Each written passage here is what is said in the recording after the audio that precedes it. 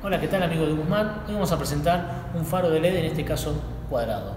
Viene con disipador de temperatura en la parte posterior, 9 LEDs de potencia, de alta potencia, 27 watts es lo que consume eh, este faro, 12 eh, volts de trabajo, con un cable enmallado para poder trabajar al exterior y tiene eh, lo que es LED totalmente puntuales para que pueda tener una alta luminosidad.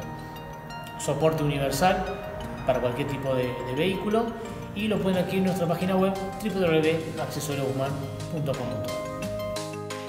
Si quieres estar actualizado con los accesorios, suscríbete a nuestro canal y si te gustó el video, dale me gusta.